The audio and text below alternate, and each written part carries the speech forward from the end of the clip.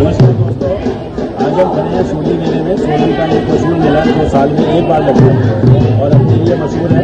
और मैं खड़ा हूँ, हाथ से बनी हुई चीज़ें यहाँ पर मिलती है। उस शॉप पर खड़ा हूँ। समझ लो मैं बेच रहा हूँ, मेरी दूसरी शौक है। ये देखिए अचार है हैंडमेड अचार। है आम का अचार, मिर्च का अचार, मिक्स अचार। बाजरे के लड्डू, ज्वार के लड्डू जो घर पे तैयार किए गए हैं, इसके अंदर फूल पड़ा है, एक के अंदर पूरा पड़ा हुआ है, जो स्वास्थ्य के लिए बहुत ज़्यादा फ़ायदेमंद चीज़ है। इसके साथ ही देख सकते हैं आप, शो पीस ये सब घर से गृहणियों ने बनाए हैं इन्होंने शीला जी को साथ करी है बहुत अच्छा इन्होंने ये बना रखी है ये देखिए छोटे बैग बना रखे और ये डेकोरेशन देख सकते हैं आप, इतने अच्छे शो पीस है ये। बहुत बढ़िया शो पीस है, जो यहाँ पे लगे हुए हैं। और ये एक इनकी सोसाइटी है, जो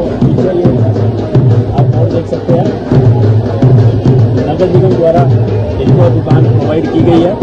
और यहाँ पे ये बहुत अच्छे से इसको बेच रहे हैं।